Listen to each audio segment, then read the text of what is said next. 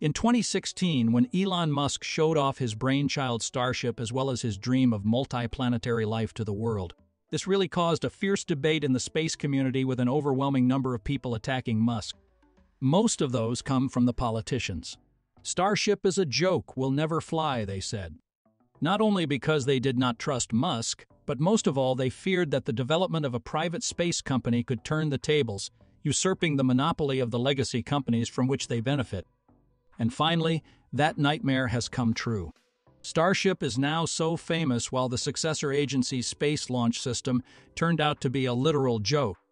So, how has SpaceX used the reverse card in the political game? Find out everything in today's episode of TechMap. In 2020, while SpaceX was quietly testing Starship prototypes in low-altitude test flights, someone shared that Starship is a joke from the material selection to the construction principle to the aerodynamic shape for re-entry not to mention third world style assembly of hardware literally on a beach. Building a flyback booster stage is one thing, building a manned reusable re entry vehicle is a few leagues above Elon Musk and probably above SpaceX as well. Looks like an investor marketing exercise to me, intended to generally boost the stock value of Elon Musk's other operations using New Horizons and disruptive innovation clout. When reading these words out of the blue, I imagine Blue Origin's case. For over two decades, Jeff Bezos' firm has not made any revenue, as far as I know, so theoretically, he suffered heavy losses. But it's so surprising that in 2024, Amazon founder surpassed tech guru Elon Musk to return to the top place in the Bloomberg Billionaires Index with a $200 billion net worth. Oh my god, do you know what I mean? However, unlike Jeff, Elon is really serious with his Starship program. It explains why instead of becoming a dreamy rocket like New Glenn, Starship actually went into real life. This vehicle has taken off the ground three times and has been preparing for more flights in the near-term future. Its potential is also demonstrated by a file of high-quality customers that it owns including the tycoons and government agencies. The Mega Rocket's attraction lies in extremely modern and advanced technologies that we have never seen before. Ironically, they are something that was previously poo-pooed a joke. What makes Starship so special? The first one is about the material selection. The rocket body is generally made of aerospace-grade aluminum or titanium, as both metals are strong and also lightweight, with some additional parts being made out of carbon composites. Carbon composites may be promising in the future as they are very lightweight yet strong materials. For that reason, when SpaceX selected the stainless steel for Starship's hull, people felt weird. Critics argued that stainless steel was relatively heavy compared to carbon composites commonly used in aerospace applications. To be honest, choosing the right material for a rocket's hull is indeed crucial, as it needs to withstand extreme conditions during launch, flight, and re-entry. Here are some factors to consider when selecting materials for rocket hulls. The material must be strong enough to withstand the structural stresses during launch and flight, as well as potential impacts from debris or micrometeoroids. Rockets need to be as lightweight as possible to maximize payload capacity. Therefore, materials with high strength-to-weight ratios are preferred. The material must be able to handle extreme temperatures experienced during launch, atmospheric re-entry, and in space.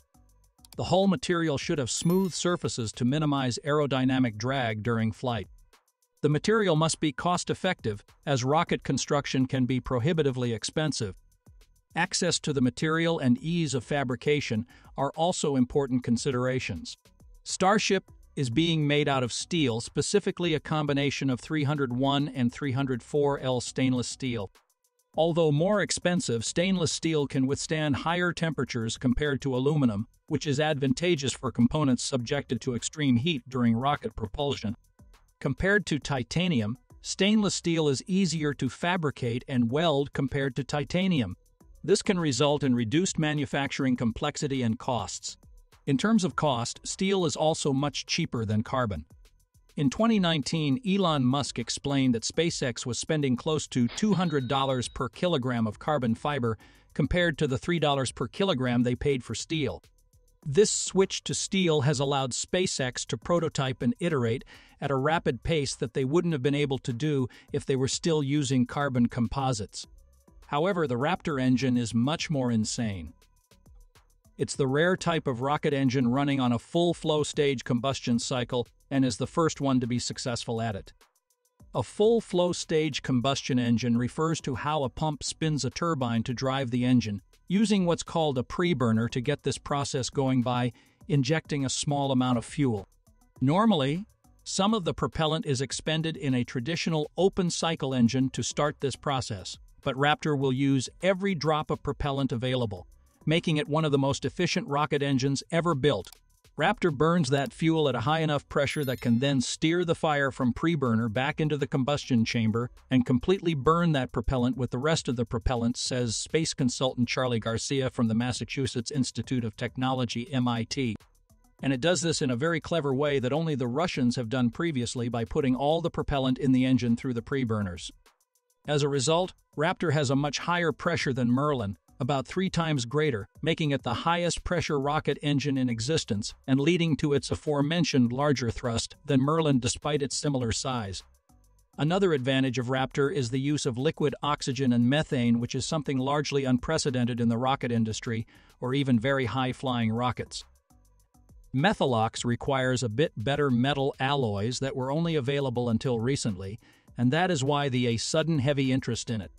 Methane in and of itself isn't optimal for atmospheric or above atmosphere range, but can prevent a buildup of deposits in the engine compared to other fuels like kerosene, a process known as coking, while its higher performance allows for lower costs. The cost of propellant for liquid rockets is such a trivial proportion of the total launch costs says space consultant Rand Simberg. With reusable vehicles, we want to get to the point at which we care what the propellant costs. In airlines, typically 35% of the total operating costs is fuel. With a rocket, it's less than 1% traditionally. Additionally, according to Elon Musk's vision of Mars colonization, methane can be produced there. This provides the optimization of cost and convenience. The final one is about the latest advanced technology in orbit refueling. Under the requirement of NASA's Artemis 3 to ferry astronauts to the lunar surface, SpaceX first has to master how to refuel a Starship in low Earth orbit after it has already blasted off the planet. The tricky concept is known as cryogenic propellant transfer, something never done before in microgravity. By completing the transfer of cryogenic fuel between internal tanks in Flight 3, it can be said that SpaceX is on the threshold of mastering this technology. Once upon a time, even before SLS was born, NASA was interested in developing refueling technology in space. Unfortunately, when Congress directed the agency to build a large rocket based upon Space Shuttle era technology called the Space Launch System, they also quietly put on the back burner its work. The reason for this is rumored that funding for NASA's efforts to develop so-called propellant depots and the capability to store and transfer cryogenic rocket fuels in orbit was considered a threat to the existence of SLS program. The SLS contractors did not like this, and thus, we have a vehicle that is costing $2 billion a year to develop. Fortunately, the emergence of the Starship project is truly a lifeboat for NASA's unfinished dream in the past. And that just about wraps it up for today's episode. If you want to explore more aspects of the world's most powerful rockets and the world of rockets in general, here is a selection of deeper dive videos for you. Thank you, and we look forward to seeing you next time